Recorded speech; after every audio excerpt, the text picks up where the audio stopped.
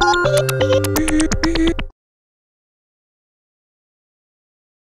everybody. Welcome. Uh, I'm Jeff Snyder of Snyderphonics, and uh, this is Josh Becker. And we're going to talk a little bit about the Snyderphonics Manta, and then mostly just do a little performance. So, wanted to uh, so be a little bit of a demo showing off some of the features of what you can do with the Manta and the MantaMate, which are the two products that I make right now. Uh, so the Manta is this controller. It's basically a touch controller for uh, originally designed to be a touch controller for a computer. Uh, it's got 48 hexagonal sensors and then a couple sliders on it and some little round buttons. And I originally designed it to work for a computer. There's a Max object for it. There's a SuperCollider Quark for it. Um, there's some programs that convert it to MIDI, stuff like that. Uh, but in uh, about a year and a half ago, I came out with a module that allows you to connect the Manta to a modular synthesizer and convert it to CV. And in doing so, I had to think a little bit about what that would mean, because it's actually kind of just a generalized grid. Uh, each sensor knows how much surface area you're covering, so it's kind of like it's got a um, full polyphonic aftertouch going on. Uh, but I had to figure out sort of what would you want that to be. So in the case of in the case of this, I I ended up setting it up to have this sort of keyboard mode. If you look at it, you can see kind of it's like white keys and black keys. Let me see if I can make it actually make sound. Oh, it's doing some other things. Here we go. Oh, I'm on the wrong instrument. Anyway. Uh, so like, here we go. Let's get my filter going. So you can use it basically as a, as a keyboard that knows how much surface area you're covering on each key. You can route that to something, whatever you want. With up to up to four note polyphony on yeah. the modular. So the the module sends up to four note polyphony. Right now, I only have one oscillator plugged in on that one, but um, so it's monophonic. But uh, you can get up to four note polyphony. Uh, yeah, and then after I kind of made this keyboard mode, where you can jump around octaves, you can set up different mappings of the hexagons. Then I made this uh, sequencer that I built into it, which actually ended up being kind of one of the most powerful parts of it. So I'm going to maybe start blank here and do a really quick kind of building up a sequence before we play. So for the sequencer mode, it kind of gives you this little keyboard up top to indicate possible pitches, and then I can add, I can like add a step by touching a hexagon down here and it tells me what pitch it's set to. And that's up to 32 steps per sequencer. Yeah, so each sequencer can have up to 32 steps, and I can add them like this. Right now I had it set to a little bit of a pattern. You can see up here it shows you what notes they're playing. I can select a I can select a pitch and set it to a particular note or a rest. And each of these uh, steps has four CVs additional to the pitch CV that you can set independently for each step. Yeah, so each step then also sends out four CVs, and you can access those with the slider.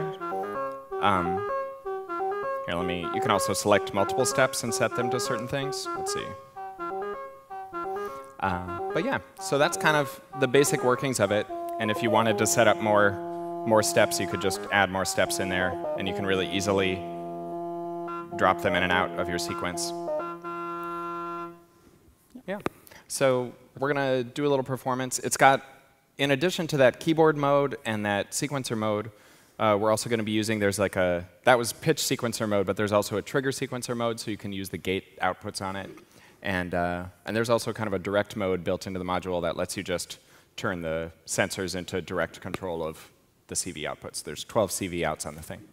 So you'll also maybe see us doing uh, each MantaMate and Manta, each Manta can actually represent two different instruments on the MantaMate, so you can actually see, you can switch back and forth between different instruments, and this one right now is set to be a keyboard, but then I can actually switch over to another one that's simultaneously operating that's a sequencer, and they come out different outputs on the module. So you'll see us every now and then flipping between modes that are actually like, uh, we've got two multiple instruments going, each of us.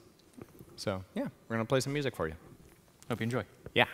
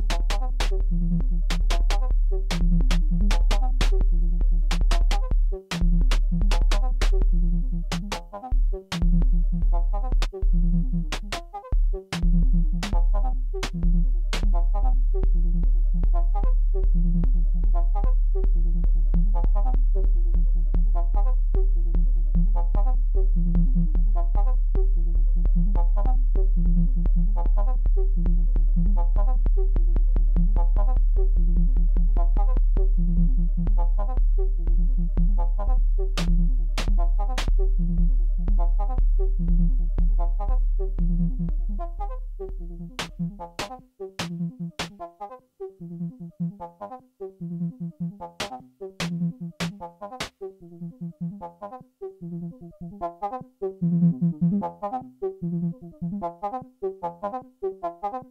you.